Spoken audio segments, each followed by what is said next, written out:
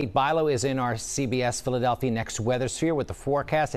It, it, I have to admit, I put the, the heater on in the car this morning when I, I was leaving this morning, Kate. Is this the first time you've put the it heater has. on the car? Because oh you know I'm just I can usually brave most things, but my and I had my jacket in the back seat, so I was just wearing my shirt. Okay, so you needed a little. I extra, needed a little extra. A little yeah. extra airflow. Yeah. yeah you got, got to start that car early. Tomorrow morning, Jim, I think is going to be even even colder. Oh boy. So you may want you may want the heated seats turned on tomorrow morning, or the heat just kind of kind of blasting tomorrow, the coldest morning of fall. But then a big warming trend as we head into next week. I want to start you off with some beautiful shots of the sunrise around the city and suburbs right now. Ocean City looking beautiful this morning. Look at all this gorgeous fall color in Plymouth Meeting.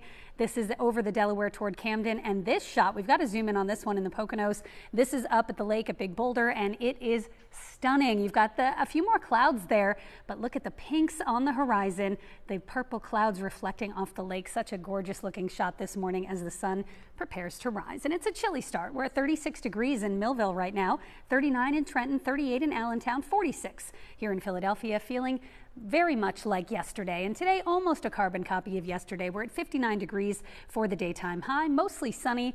Tonight, mostly clear, and we're down to 40 for the overnight low, which is going to make it the coldest night of the season so far here in Philadelphia. And for that reason, we have a freeze warning that will go into effect late tonight and continue into Thursday morning. Now, the freeze warning, again, this is an agricultural product. We don't issue warnings telling people that it's going to be freezing when they step outside. This is more about the growing season. So once you get the first freeze, the first hard freeze, you don't get any more freeze warnings until the spring when you get the the first freeze after the growing season starts. But again, you can see the purple shading here. Berks County, Lehigh, Northampton, the Poconos, Temperatures will be close enough to the freezing mark to put any crops at risk for the end of the growing season tonight.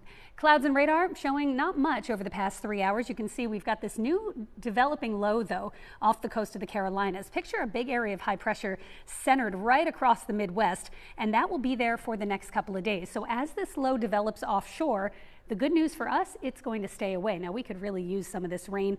We're not going to get any. All we'll probably see maybe a few clouds here across Delaware and South Jersey into tomorrow morning. The low stays out to sea, but that is going to kind of enhance that breeze as the high builds in and the low lurks offshore. We'll have this chilly breeze from the north.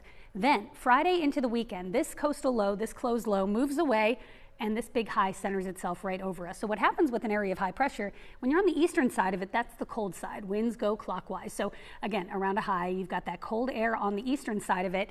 By the weekend, the high is right over us, and then next week, the high's a little bit off to the, to the east of us, which means a southwest flow. That's the warm side of the high. So temperatures will be warming progressively each day into the weekend and next week. Rain chances over the next six days. I show you this for a reason, even though it doesn't really tell you anything except we don't have any rain in the forecast, and boy, do we need some. The last time we got a soaking rain, so to speak, an inch or more was August 8th. That was 69 days ago.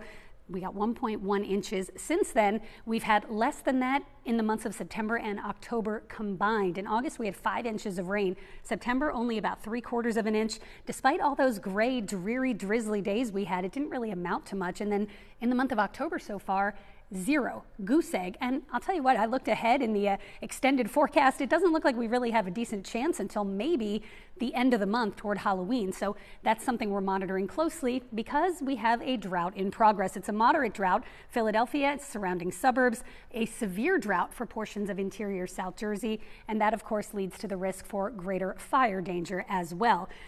And look at this next seven days. No rain to speak of, and we gradually warm things up here. So 59 degrees today.